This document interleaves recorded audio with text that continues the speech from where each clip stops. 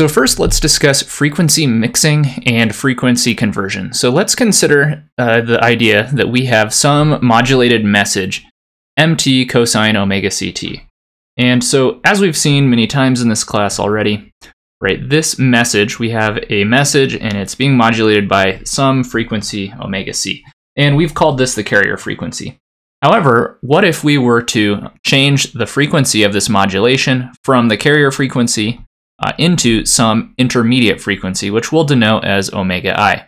We can do this by multiplying those two together. So we're going to accomplish this via multiplication. So we're going to have our original message that's been modulated, and we're going to multiply our original message by another cosine term, 2 cosine omega mix t.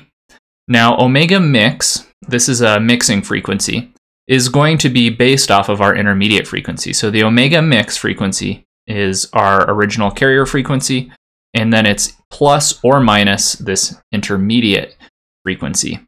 So we can further write this as saying, right, omega mix is either omega c plus omega i or omega c minus omega i.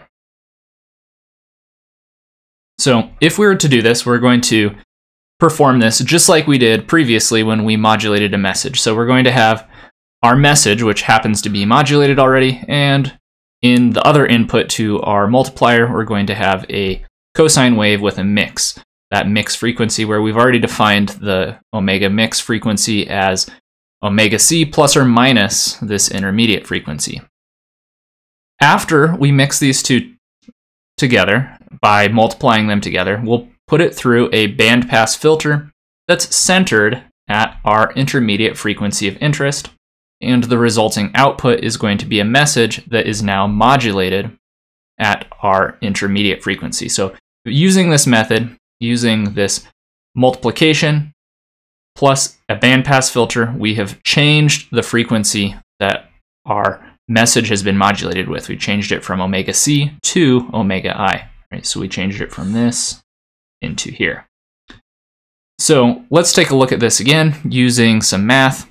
So first, right, we, we've just seen how that works in practice. We looked at the block diagram. Now let's take a look at the math, make sure that it makes sense. So we have first our message modulated by omega c.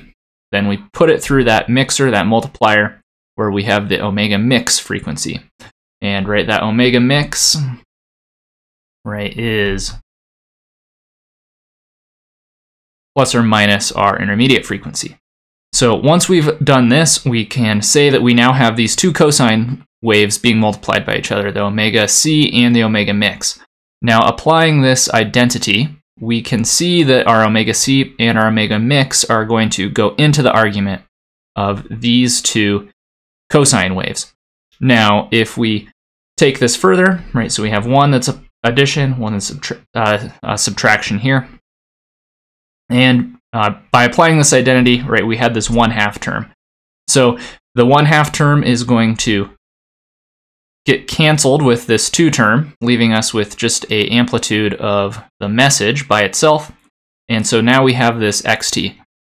Um, so now we're going to take a look at two different cases of the omega mix, right? The first case will be the omega c plus omega i, whereas the second case would be minus omega i intermediate frequency. So in case one, we have our um, original carrier frequency plus the intermediate frequency.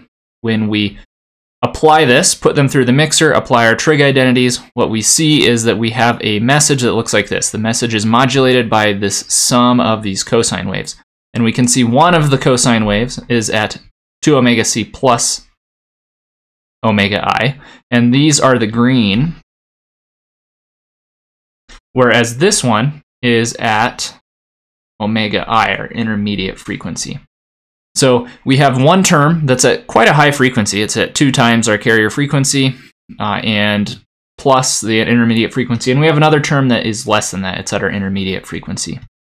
So we can clearly see, right, if we pass this through that bandpass filter that we showed here, right, the bandpass filter centered at our intermediate frequency, right, we will be left with just one term, and it's our message that's being multiplied by this. So therefore, we have been able to change our modulating frequency from the carrier frequency to that intermediate frequency.